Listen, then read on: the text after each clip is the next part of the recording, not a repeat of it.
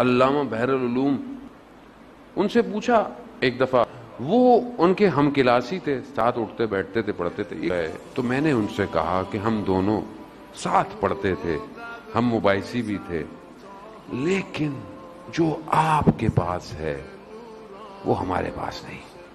माजरा क्या है?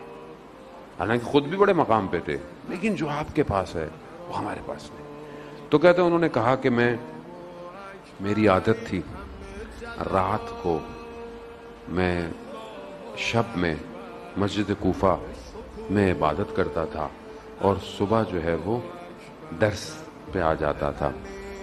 एक रात में मस्जिद कोफा जा रहा था तो तूफ़ान सी, आंधी सी आई और अंदर से मुझे ये एहसास हुआ कि मुझे मस्जिद सैला जाना चाहिए। मस्जिद सहला मस्जिद कोफा से पहले है, जहाँ अम्बिया के मकामात हैं और वो वक्त के इमाम से मुख्तस है, मखसूस है।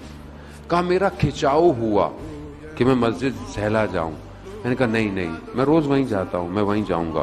कहा, तूफ़ान आंधी ने मुझे मोड़ दिया। मैं मस्जिद सहला गया।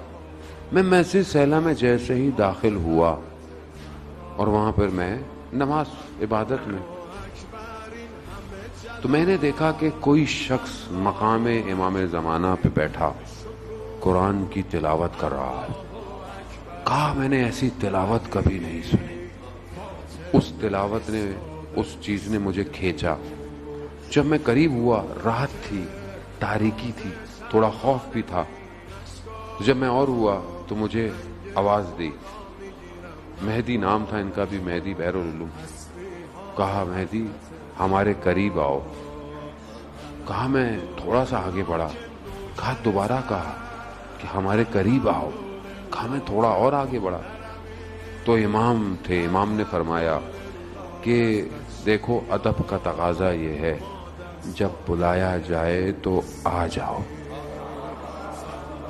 कह रहे मैं करीब आया। इमाम ने अपना सीना मेरे सीने से लगाया सत्र सीने से इल्म सीने को दिया।